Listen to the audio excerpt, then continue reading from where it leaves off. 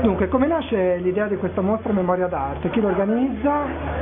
Beh, nasce dal Circolo Pink e l'idea è quella di dare forza al 25 aprile forte da un punto di vista culturale di un momento in cui politicamente spazi non ce ne sono quasi più, soprattutto a Verona con un Consi come sindaco, che è negazionista, che comunque è inquisito per razzismo, eccetera, eccetera, tutto questo si conosce già.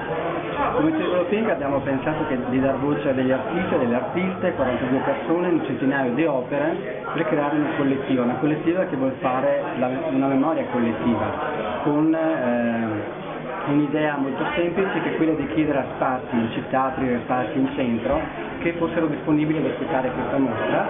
E la cosa è anche riuscita, sono, hanno collaborato nove spazi in città e si è creato un percorso che è durato tutto il mese di aprile con nove inaugurazioni ehm, nelle quali appunto si è dato la possibilità ad artisti e a persone di poter ragionare, riflettere, pensare con un altro linguaggio sui 25 aprile. Ci sembrava il minimo un modo intelligente, un modo aperto, anche un modo alto di, di rifare politica e soprattutto di supportare le ragioni del 25 aprile.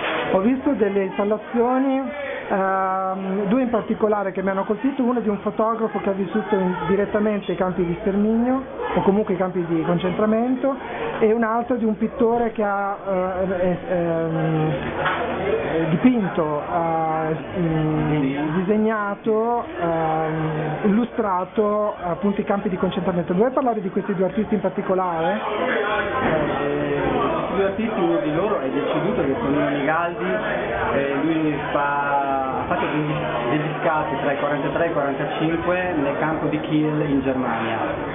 Eh, questi scatti li ha fatti furtivamente con delle macchine fotografiche che gli aveva lasciato un militare inglese eh, che aveva capito che lui aveva la possibilità di far foto, era anche abbastanza intraprendente, quindi in grado di poter muoversi all'interno del campo senza essere appunto sorpreso durante questi scatti, che ha testimoniato.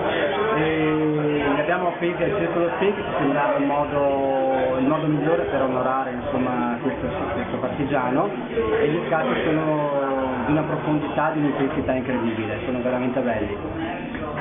L'altro eh, artista pittore è Bocchetta, che è conosciuto in tutto il mondo, e lui ha fatto dei disegni eh, riprendendo situazioni del campo di concentramento di Flossenburg dove lui è stato internato quindi sono disegni carichi di, di un'angoscia eh, che si coglie subito a tempo e, però molto molto belli, con un segno preciso, fatti benissimo, d'altronde lui è un artista di fama internazionale ma non riconosciuto a Verona, d'altronde normalmente i grandi non sono riconosciuti nella loro città. Ascolta, pensi, eh, che, che, eco ha avuto a livello diciamo, di giornali, di, di, di mm, media questa mostra? Guarda, noi ci siamo mossi più che altro dal punto di vista artistico e culturale, per cui abbiamo scelto un canale di informazione che eh, andasse a toccare questa, questo spazio giornalistico e mediatico.